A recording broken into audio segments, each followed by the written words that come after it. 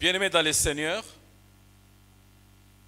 depuis quelques jours, il circule sur les réseaux sociaux un reportage dans lequel un membre de notre communauté est cité ou soupçonné d'être parmi les instigateurs des actes susceptibles de constituer des troubles à l'ordre public au plateau de Bateke dans la commune de Maluku, ville-province de Kinshasa. Face à cette situation, en ma qualité de président représentant légal de l'Église de la Restauration, je tiens à apporter les précisions ci-après.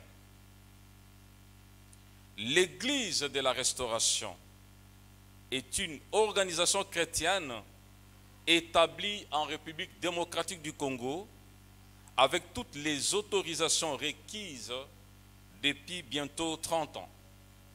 Son but est, entre autres, de prêcher la bonne nouvelle du royaume des cieux par l'enseignement des saintes écritures, d'ouvrir des centres de récupération des marginalisés. Elle est une association apolitique. Elle n'encourage pas le message de haine ni les appels à la violence et au tribalisme. L'Église de la Restauration est une communauté composée d'hommes et de femmes de diverses origines et de différentes cultures vivant dans la fraternité et la paix et qui sont libres en tant que citoyens d'exercer dans la fraternité et la paix les droits fondamentaux et libertés publiques garantis par la Constitution de la République démocratique du Congo dans le respect des lois et textes de la République et des autorités établies. L'Église de la Restauration n'approuve pas les messages relayés à travers les réseaux sociaux et réaffirme sa confiance aux institutions nationales et services publics pour assurer la sécurité des personnes qui résident sur, tous les territoires de la République démocratique du Congo et de leurs biens. Toutefois, l'Église de la Restauration tient à souligner que les dix messages n'ont été tenus ni dans l'enceinte d'une de ses paroisses, ni lors d'un prêche, ni moins encore dans le cadre de l'exercice d'une fonction rattachée à la communauté. Dès lors, l'Église de la Restauration estime n'y être impliquée ni de près, ni de loin, et ne devrait pas être tenue responsable de ces faits.